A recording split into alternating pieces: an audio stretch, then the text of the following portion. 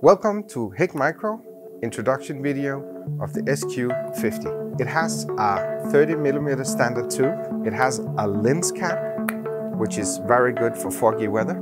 It has a recoil eye pad, which is very good for high caliber weapons. It has focus here for the inside looks and view, and here for the distance you're shooting at. It is a 50 millimeter lens, and it has digital zoom going from 1, 2, 4, and 8.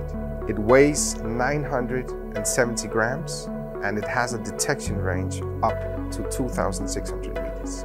It has 50 hertz and a 0.39 OLED screen.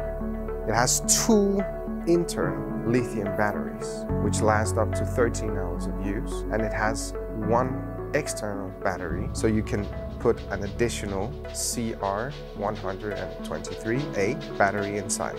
It is IP67 certified, which means it is dust, water, recoil proof. It works from minus 30 degrees and all the way up to plus 55.